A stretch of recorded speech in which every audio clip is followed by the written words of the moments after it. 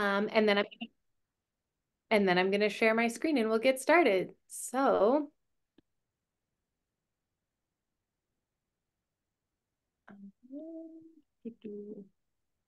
all right. Can everybody see my screen here? Fantastic. Absolutely. Hello, everyone. Welcome to today's meeting for uh, GOWME, the Global Organization for Wilderness Medicine. I'm just going to do a brief introduction and then we'll turn it over to our star speaker for tonight. So we are GOWME, we are the Global Organization for Wilderness Medicine Education. Our goal as an organization is to create an educational platform where interested students and healthcare professionals can explore and interact with wilderness and emergency medicine. We want to showcase the diverse spheres in which physicians and healthcare professionals can make an impact and inspire others to think abstractly about the ways in which we can utilize our careers in healthcare and medicine. And we also strive to create an international community of wilderness medicine enthusiasts and experts, and we're committed to promoting a diverse and culturally competent environment. Um, so please go ahead, scan the QR code with your phone so you can join our mailing list. With our mailing list, you will get access to our bi-weekly lectures, as well as wilderness opportunities such as fellowship showcases, certificates, certificate courses, free giveaways, and much, much more. We have a lot of exciting things planned for this spring, so make sure to scan the QR code and stay in the loop. Also, make sure to follow us on Instagram and YouTube. All of our lectures oh. will be uploaded onto YouTube, and we will have little blurbs on Instagram before every live lecture, so you won't miss a thing. Before we get started, this is just what our schedule looks like for this spring. Today we have Dr. Burjor Langdana here for humanitarian dentistry in austere environments. In two weeks, we'll have endurance racing with Andy Pasternak. We will have a lecture on March 14th by Dr. David Towns. He has yet to tell us what it will be about. Come back on March 26th for Survival Med, Survival um, Wilderness First Aid Certification course, and on April 9th for Obstetrics in the Wild.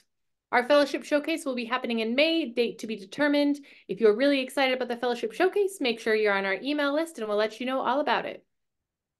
All right, now I'd like to introduce our speaker for the day. We have Dr. Langdana, DDS. He is currently an NHS dentist in England. He's a professor in extreme medicine at the University of Exeter and the dental director for Team 5 Medical Foundation.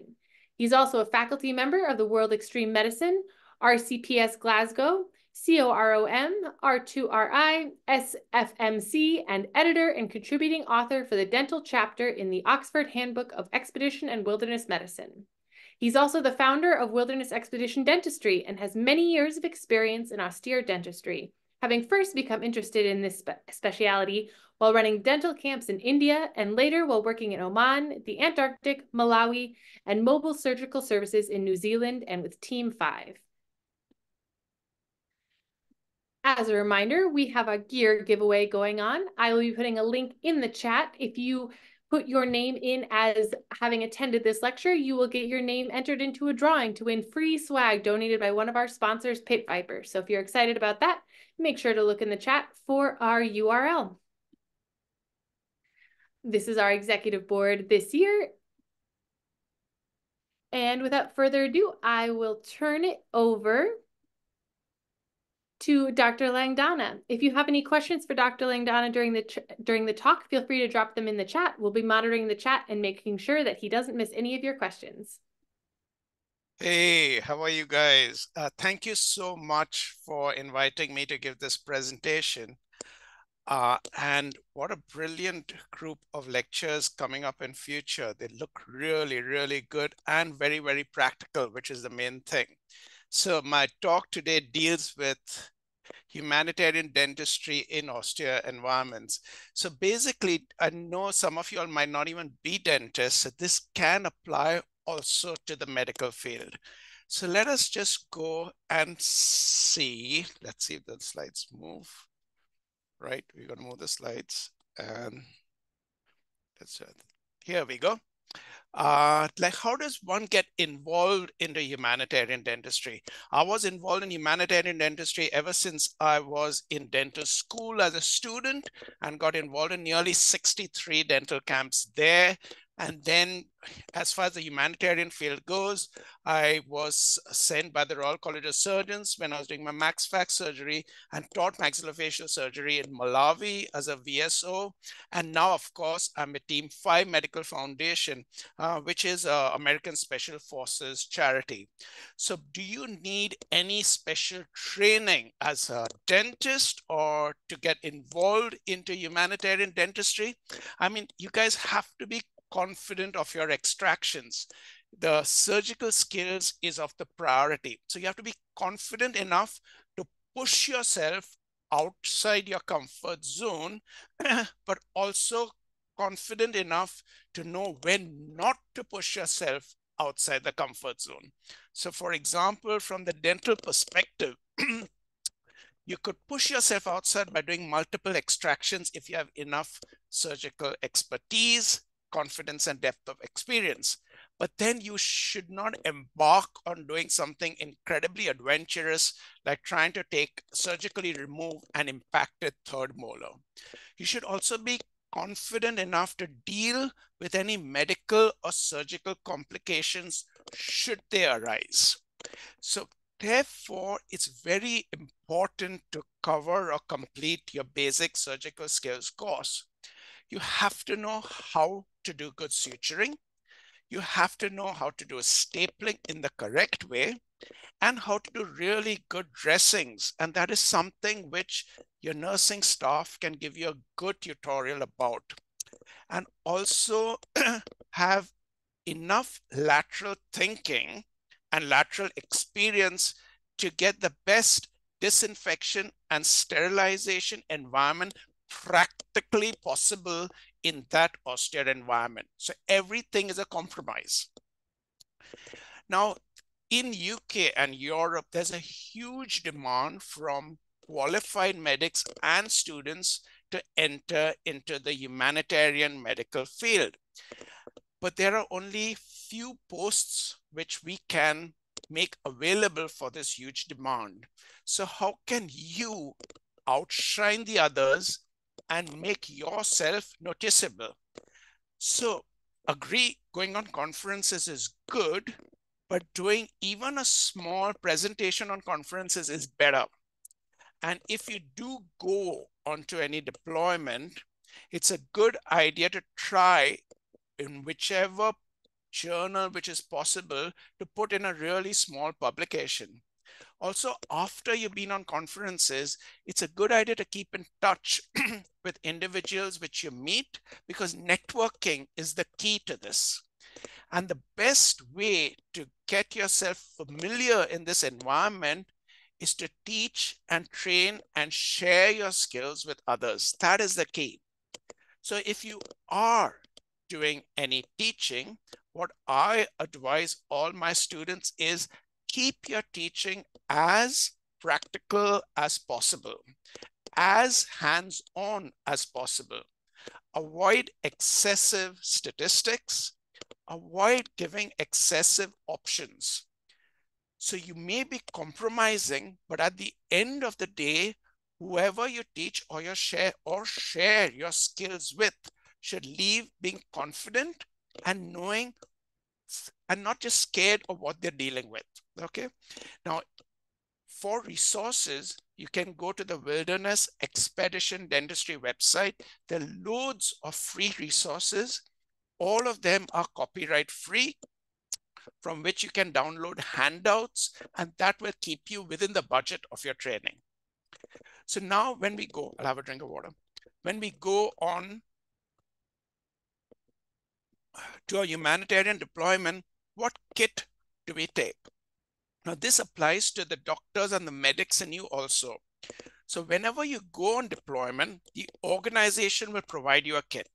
But it is so important that you carry your own favorite tools with you. For me, that would apply to surgical or extraction forceps.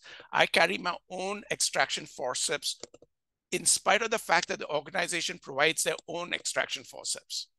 Also, you are going to work in an environment which is highly distracting, highly uncomfortable, and which is going to push you to the limits. So you want to make your job as easy as possible. So therefore, for the surgical sets, what I take is I take a short needle holder with a combined scissor. Because if I'm going to do a surgical procedure in this sort of an environment, I don't want to hunt around for a scissor while I'm doing it. So it's better, it's much better and more convenient if it's included in the same instrument. The suturing needle which I use is generally 3-0 Vicryl. It is a reverse cutting needle to be used in the mouth. and I found the needle which has the 3 8 of a curve, sort of in the length of between 19 to 21 millimeters, and the length of the suture like 45 centimeters, not very long, probably the easiest to use. Why? Because your visibility in this environment is so poor and the mouth is so dark, so you need sufficient length of the suture needle that you can see clearly and manipulate easily. Again, for scalpels, I take the entire disposable blade with handle combined. You do not want to be faffing around trying to take out a blade, attach it to the metal handle in that sort of an environment. Again, you may have to make your job as easy and as convenient as possible. Now, in dentistry, we have two types of local anesthesia cartridges. The one cartridge is 1.8 ml and one cartridge is 2.2 ml. So the local anesthesia syringes which we take are the longer ones. So they can use the smaller cartridges as well as the longer cartridges because you don't want to be caught short taking the short one and then suddenly finding a box of the long cartridges and you can't use that. The anesthesia which we use is 4% articaine with 1 in 100,000 adrenaline. Why? Because 4% articaine acts faster, quicker, is of a shorter duration of action and can act much better in an inflamed environment compared to 2% lignocaine. We also are prepared for any emergencies. So we take a little bit of gel foam in case, because the individuals who come to use may not even know their correct medical history. So therefore, you could get post-extraction bleeding, in which case you could pop in a little bit of gel foam and put in a horizontal mattress suture just to control that bleeding. We take a few restorative materials like Cavit or glass ionomer. Cavit is a pre-mixed paste which sets in contact with moisture from the mouth. And glass ionomer is a powder and liquid mixture, which you got to mix, which sticks like super glue onto the teeth. So that is what we take. We take safety glasses for the patients. Again, because you're working in such a distracting environment and in such um, uh, warmth or rain conditions. So you, you can get distracted and you can get damage to the patients. To keep our disinfection levels up, we take disposable plastic trays and non-alcohol wipes. They're the quaternary ammonium compound wipes. This is because alcohol tends to evaporate in the hot environment and will last only for a day. After that, you just have dry tissue. We take extra large. So basically gloves, which are one or two sizes larger than the gloves which you wear at work, simply because your hands will get hot and sticky and you will need a larger size gloves to put them on. Of course, mask and surgical cap. the surgical cap which we use is does have a little bit of a padding to stop sweat going into your eyes, but the upper aspect is really porous because if you wear the cloth cap, your head will get really, really warm. We take three pairs of head torches, two with rechargeable, one where you take your own batteries because very often you won't get access to electricity where you're going, hence you will need batteries for that.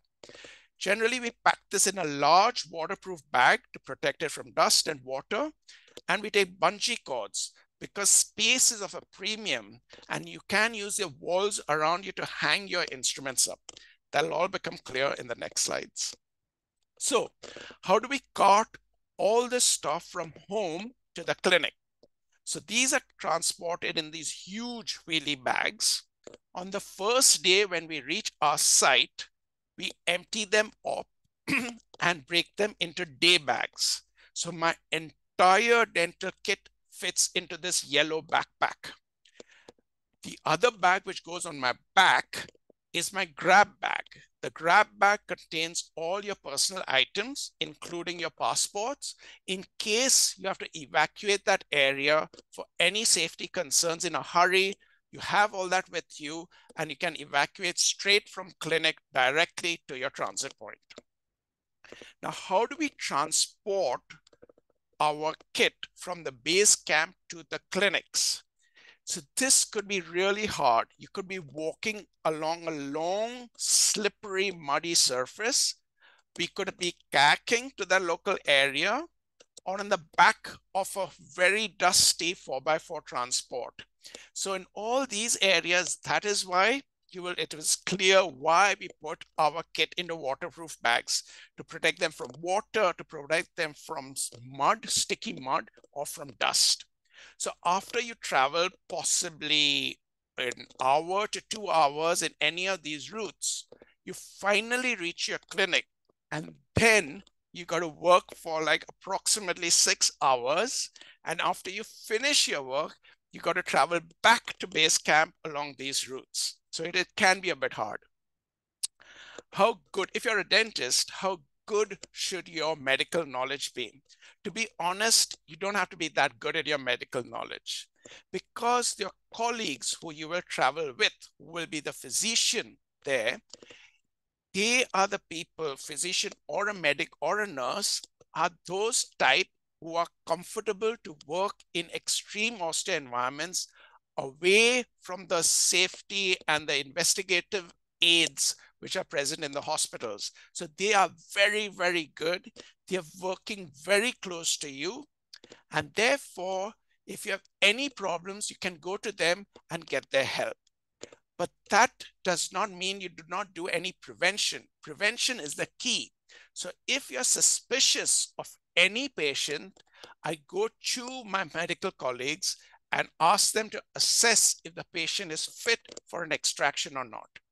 Now, the other thing which I've learned to do is that all these patients walk for like an hour to two hours to reach you. They are possibly malnourished. They haven't eaten probably. They are dehydrated. So when they come and you are going to do a surgical procedure on them, and then they have to walk all the way back. So what I do is I give them a tablet of dextrose to chew or any glucose tablet which pumps the sugar levels up, give them one tablet of ibuprofen, and then when they're leaving, I give them another two tablets of ibuprofen to go home with. Now you got to remember that our quantity is limited. So therefore we have to balance this out when we do this. Again, the other thing which we learned is you have to be prepared for lack of drinking water. And as in the case of Colombia, when we went, total lack of water. So that is why we don't take the powder to mix with water to give them the glucose powder. We give them chewable tablets. Finally, you've got to set up your clinic. Now, when you set up your clinic in an austere humanitarian environment, what do you need? Now, we need, for the dental part of it, a nice corner, enough setup space, a good corner where you can get good breeze, good light, good space, but so does everyone else. So your team lead will decide, and one day you would have a glorious, perfect location to set up your clinic, but then you'll have to compromise for the remaining six days. So everyone gets a chance to have a good location and not so good location. Now, the problem with dentistry is blood. And where there's blood, there is insects, Animals, especially dogs, love us. They come sniffing at our legs. Because it is open, we get a lot of dust. And corners are good for us because we have a lot of kit. So as you can see here, if it's in a corner, it has walls on the side, which is excellent for hanging your kit up.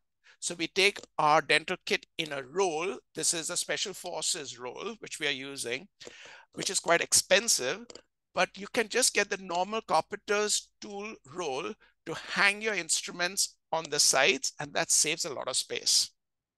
Also, we need some sort of walls which will serve as a headrest. And if you're working on the patient, helps you in supporting your back because you can lean against it. Also, we need space to increase our stations. So when I start, I start off with one station, then I gradually increase it to two, three, four. So we are injecting multiple patients with local anesthesia and then doing multiple extractions.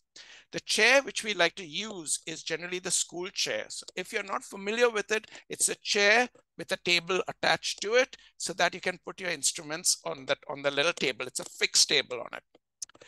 Also, you will need two buckets, one with sand, where, you can, where the patient can spit into or where you can throw your extracted teeth into, and another with a bit of water for your disinfection sterilization purposes.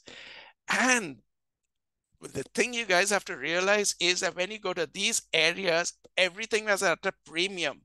Buckets, tables, chairs, there are just not enough of them. You might be lucky to get two buckets sometimes. So this is how we set up a dental clinic. So we try to run this video. It can be a bit jerky. Just turn up your volumes because the volume is a bit low.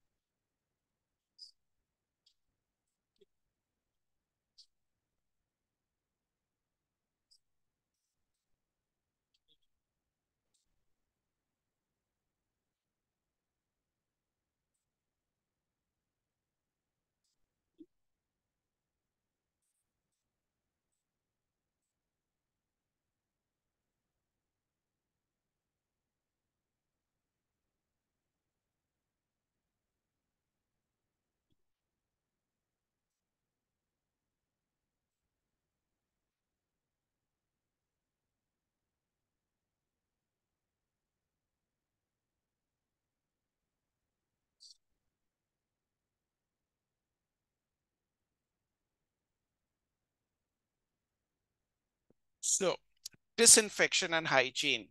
So we always learn by our mistakes. So at one deployment at the start, just to keep weight down and budget low, as budget within limits, we try to get as much as we can in the country where we are deployed.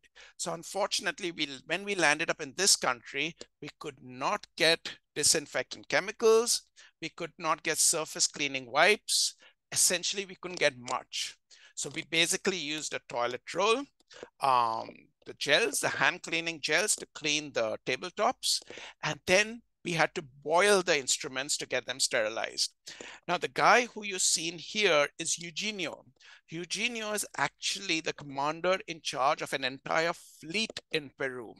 So what I'm trying to get to you is that there's literally no egos in the team. Everyone pulls their weight, does their work. And Eugenio was a fantastic dental assistant and an absolute pleasure to work with. He was also very good with children.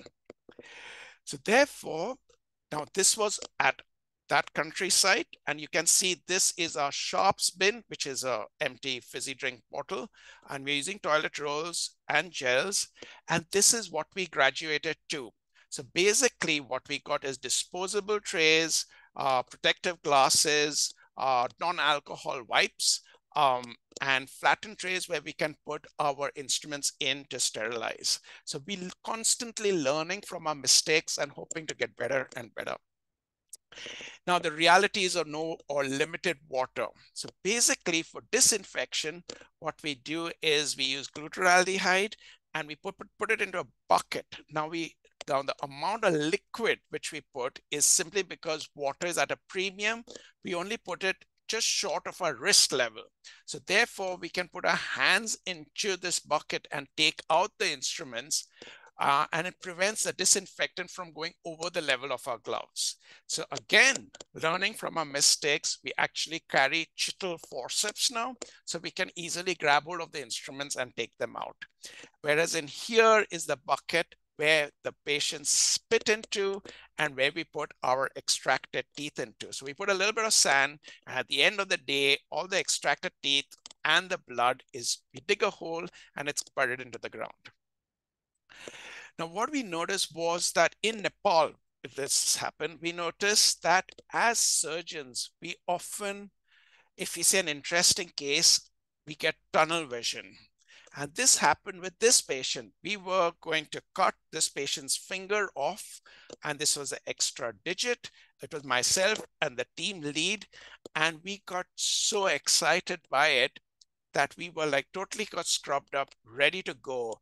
Until one of our colleagues said, Hey, stop it. I'm not happy with the amount and the way you prepped your surgical kit and the whole disinfection thing has to be made much better. So from that day onwards, we have one of our colleagues or one of our team members totally in charge of disinfection and sterilization. And they have the bird's eye view and have the authority to stop any procedure. Also, when I set my dental clinic up, he has a look around and he has to be happy before we can proceed. So we needed one separate person with enough skills, talents to know what to do and to set as high a level of disinfection sterilization as practically possible in that particular environment. Now, head of patient stabilization is so important. And this guy is probably the most important member of our team. He's a translator. So he basically has to hold the patient's head and control it and prevent it from moving. But imagine he has to do it approximately six hours of the day and then repeat it for the next six to seven days. And we have to look after our team member because it, in, the work is so intense that you can get burnt out. So what we do is we actually teach them how to do it and make sure that he has a pole or a wall to rest against to support his back. Now in dentistry, when you are extracting the lower right side teeth, you have to stand behind the patient.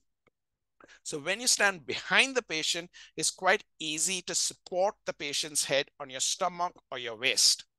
Again, there's only one translator per, per station. So for the dental guys, we'll have possibly one translator. And we could have four, five stations working in that area. So if you don't have anyone helping you, you can slouch the patient down and use the back of the chair to support the patient's head or the wall to support the patient's head. So let us look at this video which describes head positions.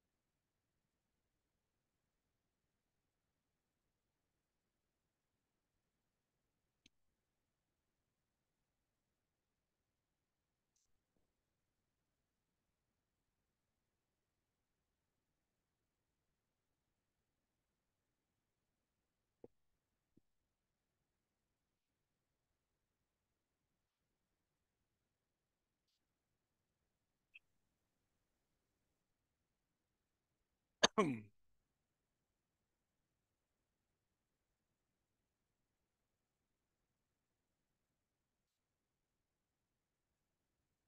So what is a surgeon's position? so when we are working here, we can do the standard position like if you senior dentist, which is standing on the right side of the patient.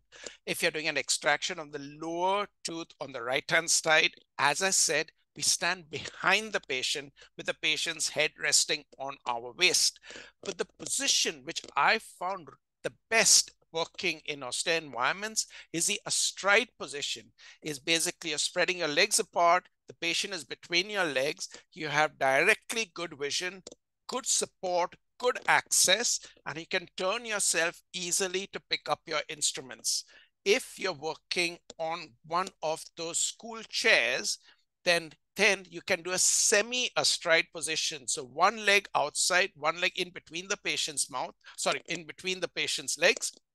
And that way, again, you have pretty good access, sight, and vision to do your work. Fitness. You, you have to be relatively fit, which I'm sure all of you guys are, is basically you got to travel a long distance in pretty warm or wet weather, reach the site, and then work for six hours and do some pretty nifty yogic postures to bend down to get access and to extract the teeth. Time management is also the key. Now, basically, as a dentist, I have to do a 45 to 55 extractions in one day. So you have to get your time management spot on. So how do we do that? So basically, on the first day we arrive, all the team members practice local anesthesia and get a refresher course on instruments. Now, how do we practice local anesthesia? The logic of this is that they are going to give local anesthesia in the local patient's mouths for the next six or seven days. To make this ethically and morally good, on the first day, each and every one practices local anesthesia on myself. So they actually give me a local anesthesia on the cheek side, on the roof side, and my mouth is numb through half the day. But my basis of that is A, is that when actually you push the local anesthesia in and go through the procedure, only then can you know the full proper technique of how to give local anesthesia. And the second point is if I can trust them to give local anesthesia in my mouth, then ethically and morally, I'm okay to allow them to give in the local population's mouth and assist me in dealing with 45 odd patients on the next day. Yeah. Then I train the translator. the translator is probably the most important member of the team. So I get I introduce myself to the translator. When we have breakfast, we have breakfast together. During lunch, I make sure he gets the lunch first. If anyone comes with any cold drinks or cold water, I make sure he or she gets it first. And he or she knows that they are an important member of the team because they are going to be supporting the patient's head. They are going to give, be giving the instructions before the extractions and instructions after the extractions. Next, I train the locals and our, our medical or dental students. So basically, if I want to give a preventive dental message, like a public dental health message, then I ask the locals to go through what they can explain and let them share this knowledge with the local population. So this guy was a local pastor in Colombia, and he was a phenomenal guy, an incredible guy, and he was far better at communicating this message to the locals than I would be. The other thing is I teach the, the medical and dental students what to give the pre and the post extractions instructions, and again, how to give the public dental health messages. So they are busy doing that while I'm preparing the next patient. Dr. Also, Lang Dr. Langdana, there's a question in the chat regarding this, um, if you don't mind. Yep, uh, shoot. Fatima wonders if there's continuous coordination and communication with the local community after the end of the mission so you can assess the needs, decide the supply and resourcing, and the people in the community are well informed about the services being provided. It varies. So as I said, our deployments are multiple short-term deployments. So half of them are recurring deployments where we go to the same place again. And for that, we are in close communication with the individuals concerned. They know what we are getting. We know what the follow-up is and we balance it all out. So there's a very good link between them. But some of them are one-off for various reasons or training purposes. For them, this aspect is less than desirable. But generally, our pre-deployment message goes out very clearly in the sense it's broadcasted on our radio and local communication networks and local individuals like the local at the church, which is incredibly good. While we are there, again, the message is stressed through.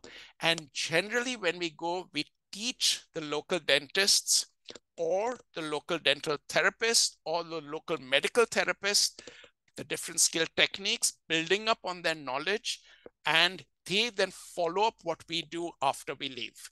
But that is better on our recurring country visits rather than the one-off visits because we can't follow it up over a protracted period of time.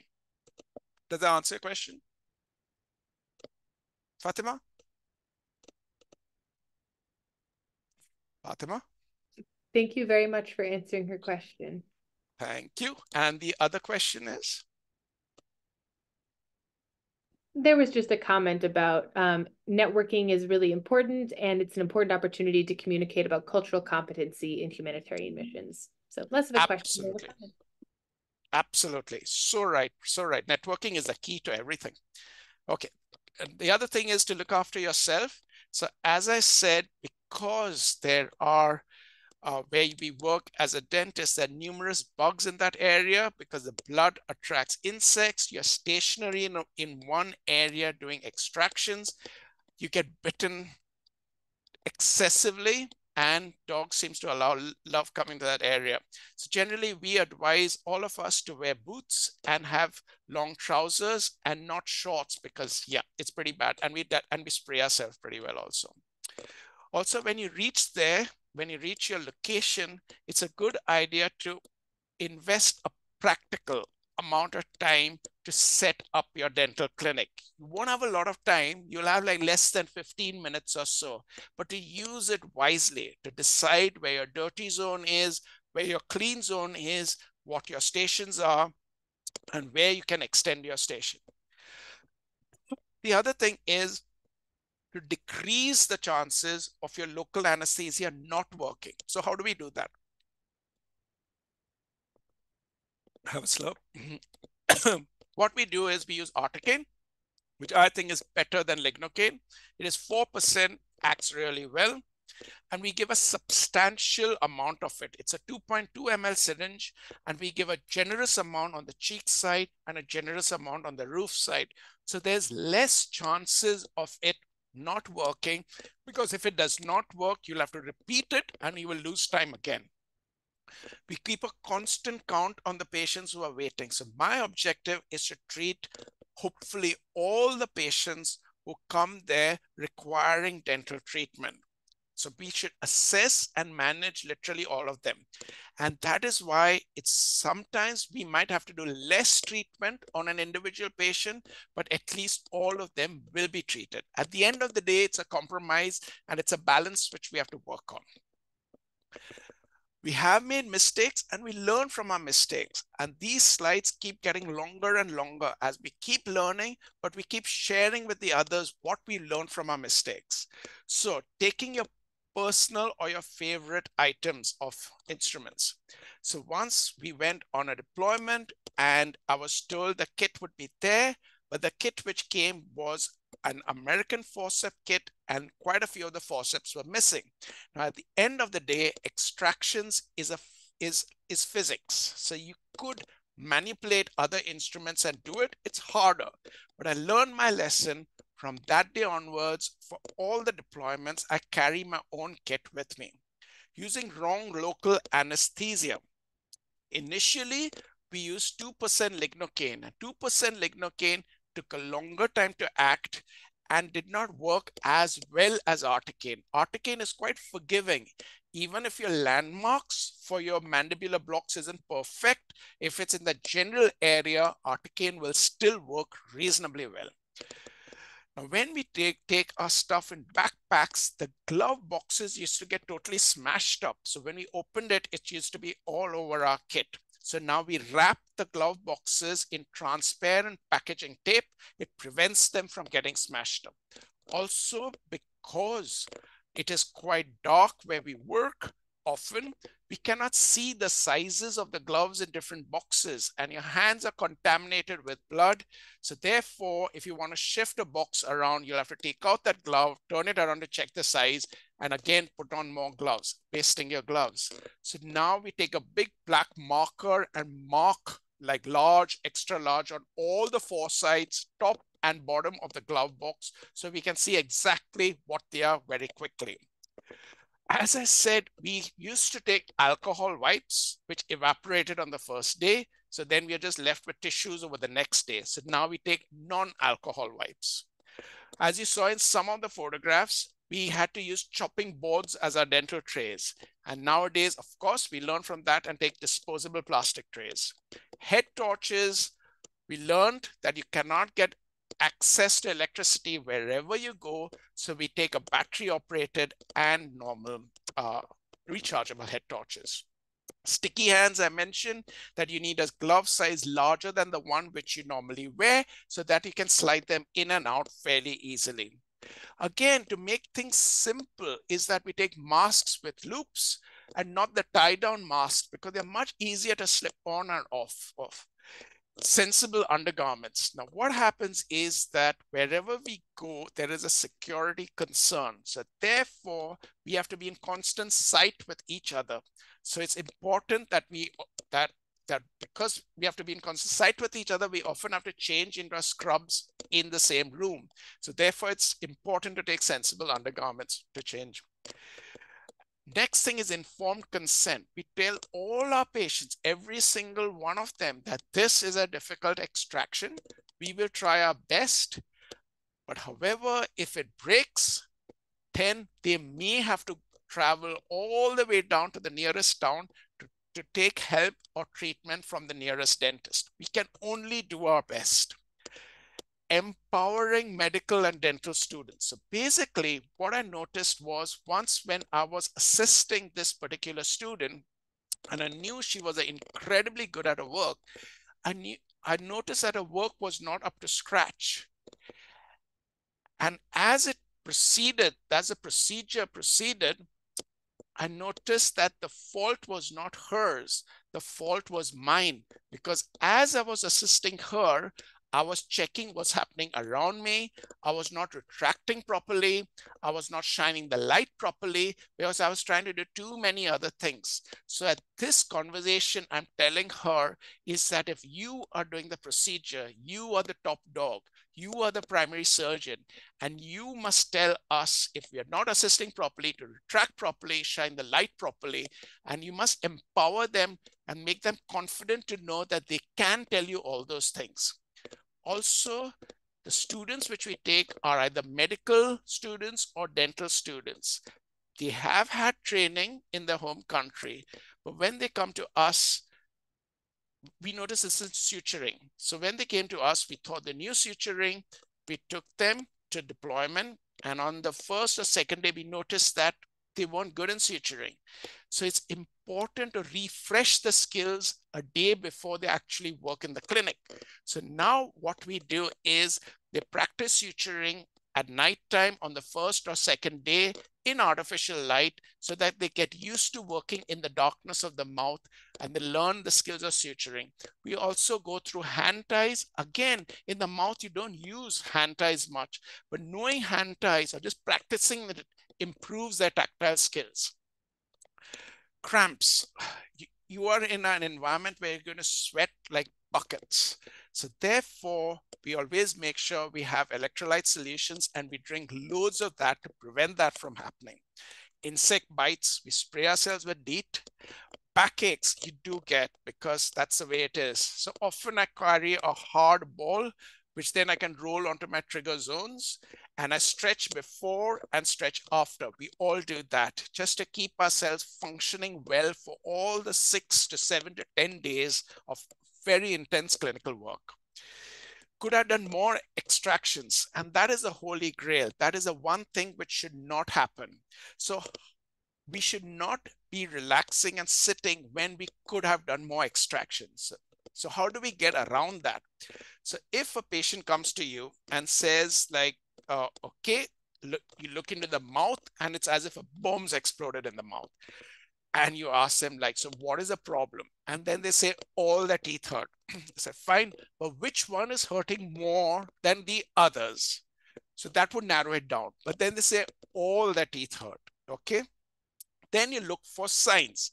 Are there swelling? Is there redness? Is there pus discharge? If so, then I will focus on that particular quadrant. However, if there are many decayed teeth and there are no signs like the above, then I will select that side of his mouth, which has the maximum number of decayed teeth, okay? Then I will tell him that I am going to extract only the uppers in that, on that side. There's no time to do both of them. I'm only going to do the uppers. So once I've done all the upper extractions, then I will look out and check how many patients are waiting outside. If the patients are not that many, then I'll tell him that, okay, I think we can now do the lowers also, and then do the lowers also on that side. With all the factors being equal, I'd rather extract more teeth than spend a lot of time doing one complicated extraction in his mouth. And I always under promise, but over deliver. That is the that is what I think is the best way to go about it. Absence of facilities. I've often been asked this question, like what happens? You do not have any access to any x-rays.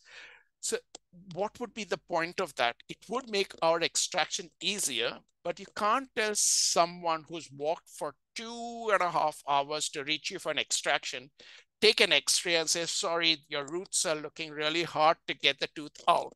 I won't be doing this extraction.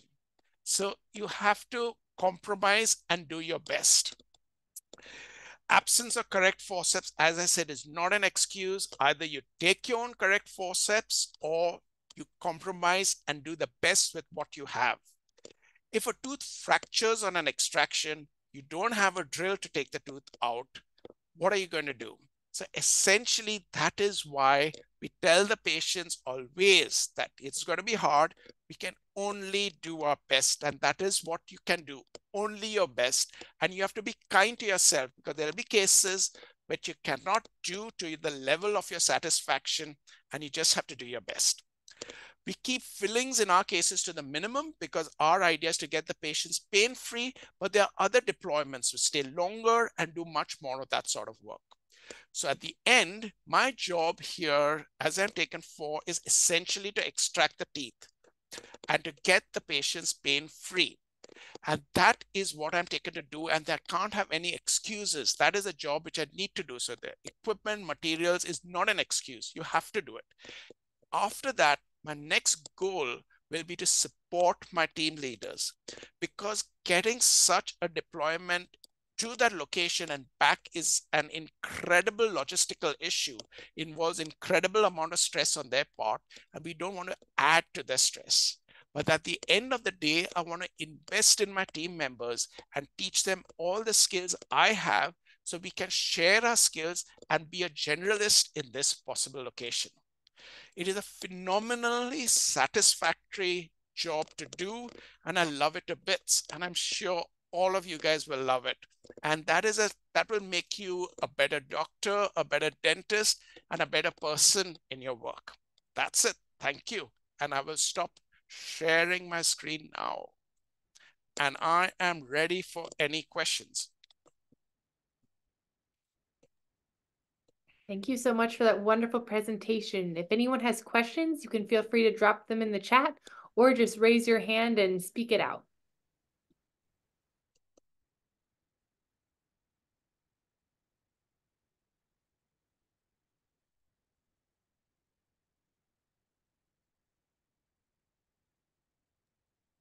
Have a question for you, Dr. Langdana. How did you become interested in doing humanitarian extractions? Uh, the, the humanitarian basically, I was born and brought up in India, so there's ample scope for that. And uh, I did my paramedic training in second year of dental school. And then it's just the environment you're in. In those days, we had a Rotaract club, which organized dental camps. So it was very easy to get onto one. There were brilliant colleagues who trained me in it, how to do it better. And the more you do, the better skills you develop. Of course, in those days, we didn't have head torches, so we are using other lighting means and it's the earlier you start you can do only little bits at the start but as you do more and more you develop your own skills and it's so satisfying because working in medicine and dentistry is so toxic so incredibly tiring so mentally fatiguing that it is you that is your escape and it just makes you so much makes your general day-to-day work much nicer yeah and i realize the benefits of that so hence we've carried on with it We do have a question in the chat from Fatima.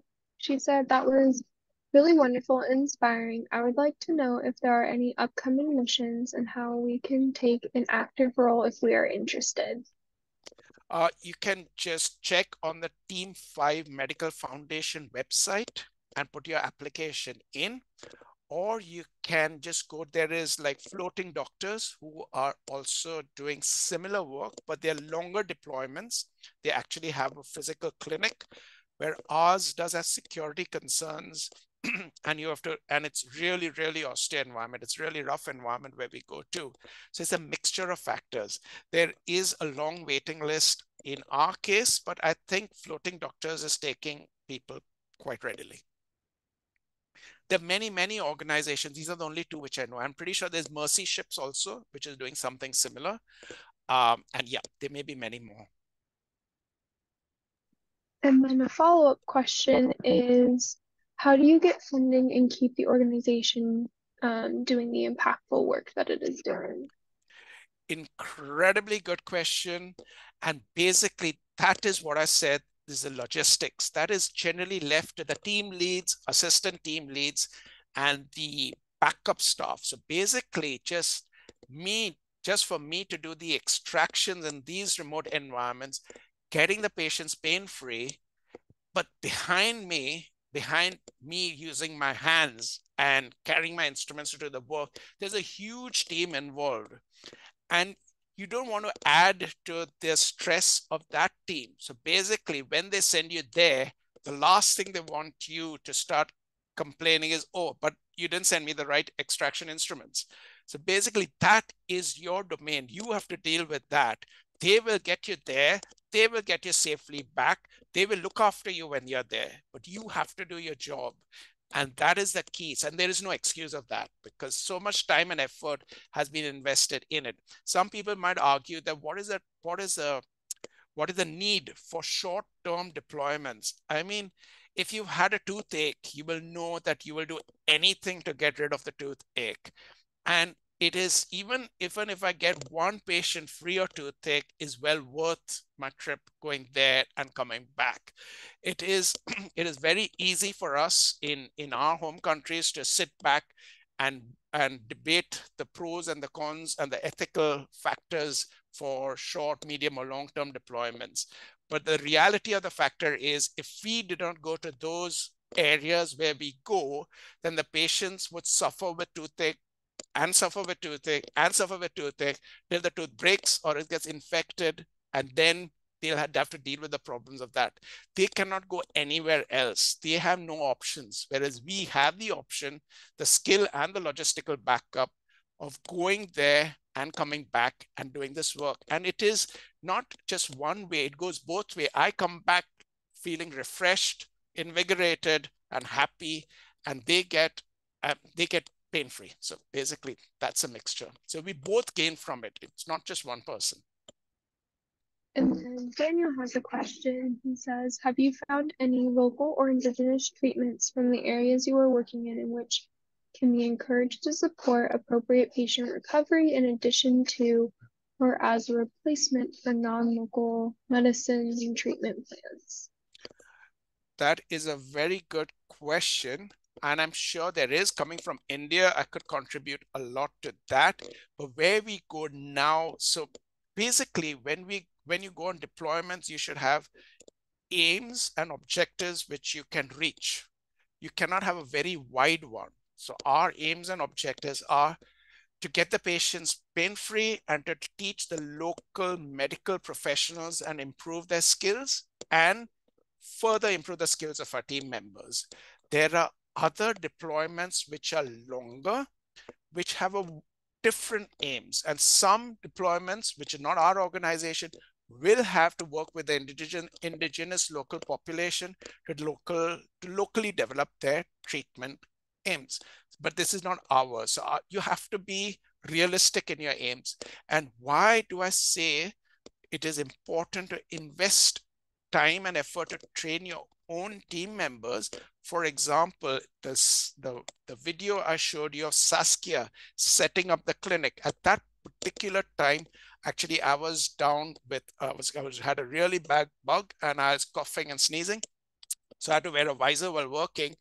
But because I invested in the last two deployments enough time and effort in, in keeping Saskia's uh, skills up to date, she could literally run the station by herself. And it was an incredible help when I was struggling on that particular day. So that is why it's so important that everyone becomes a generalist and everyone knows each other's skills to a certain extent, and it's repeatedly reinforced.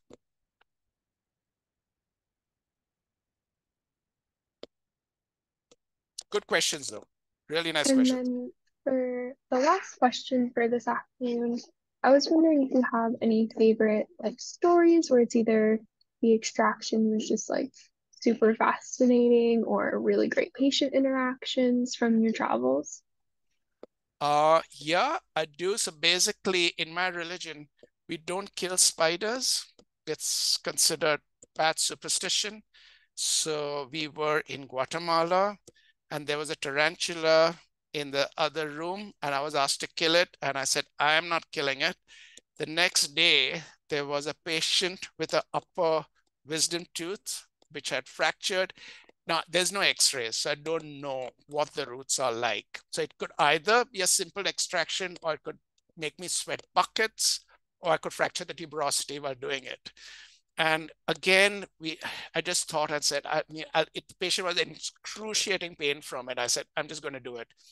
And the tooth just popped out. And I said, I was telling my colleague, if I'd killed the spider the previous day, that tooth would have made me sweat buckets. But the sting to the tail was that night when I was sleeping, and my leg was sticking out from below the mozzie net. I actually did get bitten by a tarantula.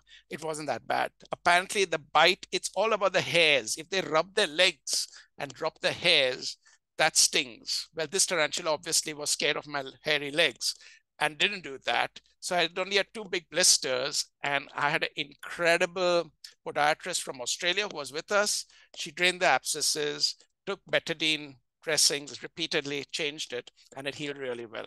So, but yeah, goes both ways. That is incredibly but, lucky to have someone from Australia there to help you with a spider bite. She was that like, is, "Oh, this is like luck. so easy." well, thank you for answering all of our questions. Yes, it's pushing up on uh, the end of our talk. So thank you everybody very much for coming to our thank humanitarian you. dentistry talk today. Um, keep an eye out for our next talk. That'll be, I believe, the 26th of February. Um, and we look forward to seeing you all there. Thank you for having me and thanks for attending. Thanks a lot. Cheers.